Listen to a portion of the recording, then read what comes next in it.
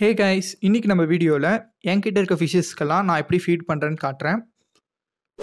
So அதுக்கு முன்னாடி நீங்கள் இன்னும் நிறையா எக்ஸாட்டிக் ஃபிஷஸ் பற்றி தெரிஞ்சுக்க இந்த சேனலை மறக்காமல் சப்ஸ்கிரைப் பண்ணிடுங்க இது என்னோடய டூ ஃபீட் டேங்க் இது ஒரு ஸ்மால் கம்யூனிட்டி டேங்க் மாதிரி.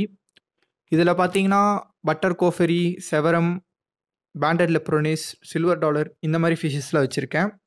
இதுக்கு வந்து நான் யூஸ் பண்ணுற ஃபுட்டு பார்த்தீங்கன்னா டெட்ராபைட்ஸ் ஏன்னா இதில் வந்து செவரம் சைஸ்லாம் கொஞ்சம் சின்னதாக இருக்குது ஸோ அது டெட்ராபைட்ஸ் தான் சாப்பிடும்.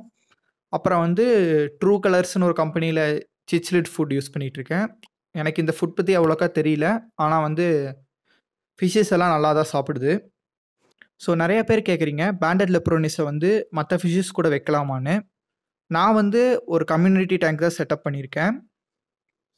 ஸோ இதில் வந்து அது எந்த ஃபிஷ்ஷையும் போய் டிஸ்டர்ப் பண்ணலை. இந்த டேங்க்கில் அதை விட சின்ன ஃபிஷ்ஷஸும் இருக்குது ஆனால் வந்து எதுவுமே ஆகலை. எனக்கு இந்த டேங்க் நல்லாவே செட் ஆயிருச்சு.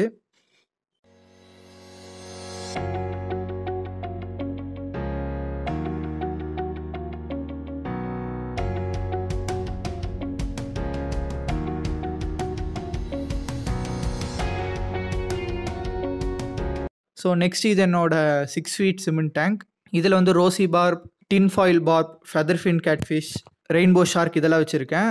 எல்லா ஃபிஷ்ஷும் என்னால் கவர் பண்ண முடியல. ஏன்னா இதில் கிளியராக தெரியாது. இதுக்கு நான் யூஸ் பண்ணுறது பார்த்தீங்கன்னா டயோ பெல்லட்ஸ் தான்.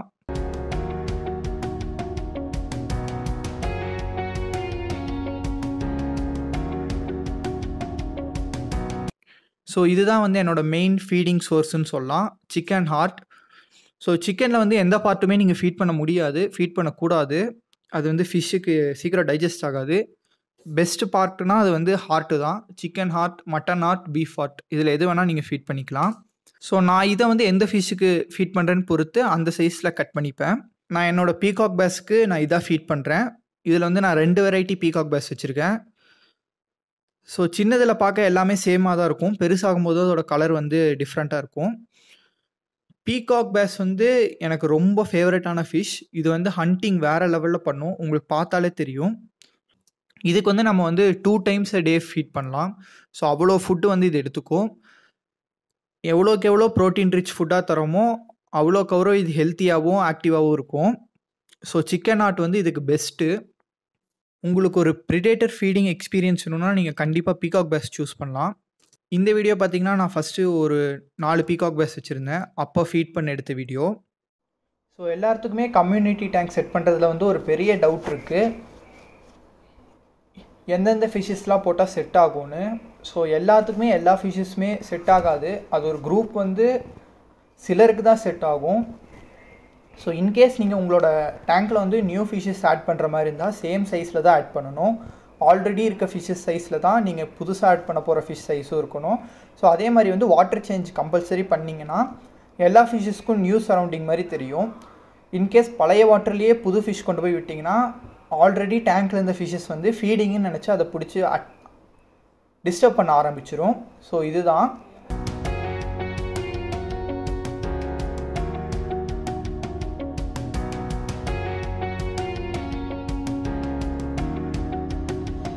நெக்ஸ்ட் இது வந்து ரெட்டைல் கட் ஃபிஷ் இதுக்கு நான் வந்து ஹேண்ட் ஃபீடிங் தான் பண்ணிகிட்ருக்கேன் ஸோ இது ரொம்ப க்யூட்டான ஃபிஷ் ஸோ இது இது சீக்கிரம் வந்து ஹேண்ட் ஃபீடிங் எப்படின்னு பழகிடுவோம் ஸோ அதனால் இது ரொம்ப இன்ட்ரெஸ்டிங்கான ஃபிஷ் இதோட க்ரோத்தும் ரொம்ப ஃபாஸ்ட்டாக இருக்கும்.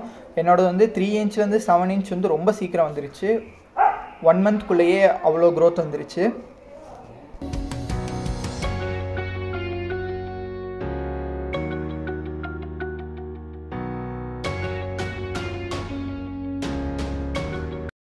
ஸோ ரெ கேட்ஃபிஷ் வெரைட்டிஸில் ரெண்டு வெரைட்டி நல்லாயிருக்கும் ஒன்று ரெட்டைல் கட்ஃபிஷ் ஒன்று ஷவுல் நோஸ் கட்ஃபிஷ் ஆனால் ஷவுல் நோஸ் கேட்ஃபிஷ் பொறுத்த வரையும் அது வந்து ஃபாஸ்ட் க்ரோயிங் கிடையாது.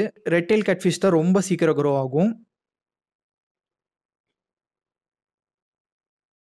நெக்ஸ்ட்டு கொஞ்சம் ஃப்ரோசன் வேர்ம்ஸ் கட் பண்ணி என்லிச்சேரி சனங்களுக்கு நான் போட்டுருவேன். இது ஜஸ்ட் டூ இன்ச் தான் இருக்குது ஸோ இந்த டேங்க் பார்த்திங்கன்னா ஒரு லோ காஸ்ட் செட்டப்புன்னு நான் சொல்லுவேன். ஏன்னா வந்து இதில் பிளான்ட் வந்து மணி பிளான்ட் தான் வச்சுருக்கேன். அப்புறம் மாஸும் எனக்கு கொஞ்சம் கம்மி ரேட்டில் தான் எல்லாமே வாங்கினேன். நான் வச்சுருக்க என்னோடய கலெக்ஷனில் வந்து இந்த டேங்க் தான் எனக்கு ரொம்ப பிடிக்கும். இதில் இருக்க ஃபிஷ்ஷஸ் எல்லாமே வந்து பாட்டம் ஃபீடர்ஸ் ஸோ மோஸ்ட்டாக கீழே தான் இருக்கும். இதில் பார்த்தீங்கன்னா whiptail catfish chocolate catfish stone catfish zebra loach இதெல்லாம் வச்சுருக்கேன்.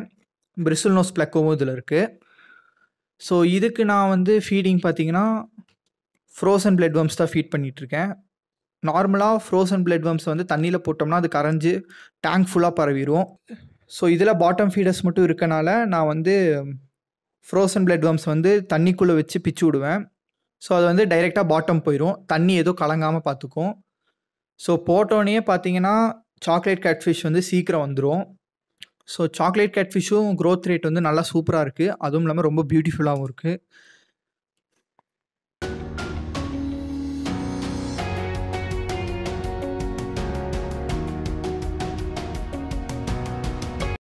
நெக்ஸ்ட்டு பார்த்தீங்கன்னா இது மீல் வர்ம்ஸ் இது வந்து ஃபஸ்ட்டு வந்து நான் என்னோடய லெப்பர்ட் சனங்களுக்கு ஃபீட் பண்ணுவேன்.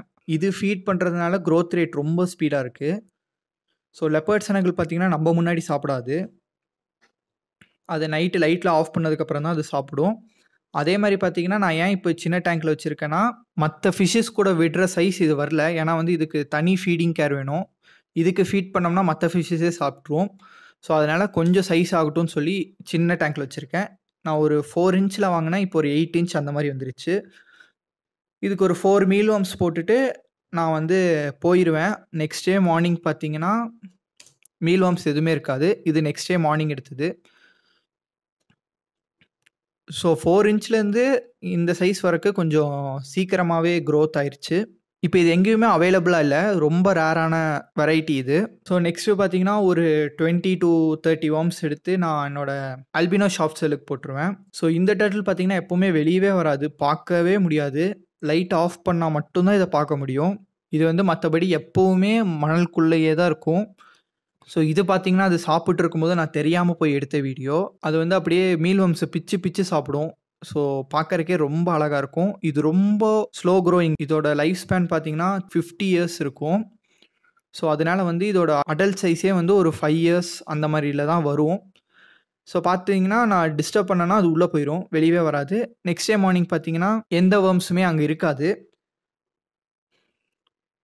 ஸோ டேங்க் எப்போவுமே இப்படி தான் இருக்கும். நான் எப்போவாச்சும் அதை பார்க்கணுன்னா மணலுக்குள்ளே தோண்டி தான் அதை வெளியே எடுக்கணும். ஸோ பாருங்கள் ஸோ இந்த டர்ட்லும் இப்போ எங்கேயுமே அவைலபிளாக இல்லை. அதே மாதிரி க்ரோத் ரேட் ரொம்ப ஸ்லோவாக இருக்குது இந்த டர்ட்டில் வளர்த்துறதுக்கு நிறையா பொறுமை வேணும். ஃபீடும் சூப்பராக எடுக்குது.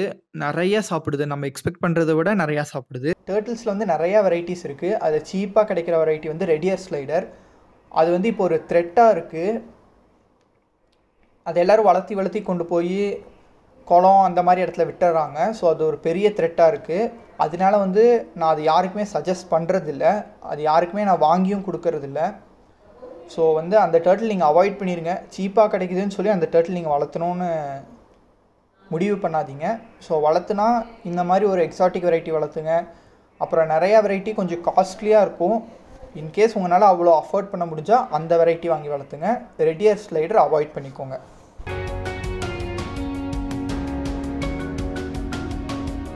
ஃபைனலாக வந்து என்கிட்ட ஹார்ட்டு மிச்சமானதெல்லாம் வந்து நான் வந்து என்னோடய பூனைக்கு போட்டுருவேன். ஸோ டெய்லி நைட் வந்து நான் ஃபீடிங் முடிச்சதுக்கப்புறம் ஹார்ட் எப்போவுமே வந்து நான் ஹாஃபாக கட் பண்ணிடுவேன் மேல் ஆஃப் வந்து நான் ஃபிஷ்ஷுக்கு போடுவேன். ஃபேட் இருக்க ஆஃப் வந்து நான் வந்து கே பூனைக்கு போட்டுருவேன் எல்லாமே. ஸோ என்கிட்ட எதுவுமே வேஸ்ட் ஆகாது. ஃபீடிங் பண்ண என்கிட்ட நிறையா பெட்ஸ் இருக்குது ஸோ இதுதான் என்னோடய ஃபீடிங் வீடியோ இந்த வீடியோ பிடிச்சதா லைக் பண்ணுங்கள் என்ன மாதிரி வீடியோஸ் வேணும்னு கமெண்ட்டில் சொல்லுங்கள் இந்த சேனல் நீங்கள் இன்னும் சப்ஸ்கிரைப் பண்ணாட்டி மறக்காமல் சப்ஸ்கிரைப் பண்ணிடுங்க தேங்க்யூ ஃபார் வாட்சிங்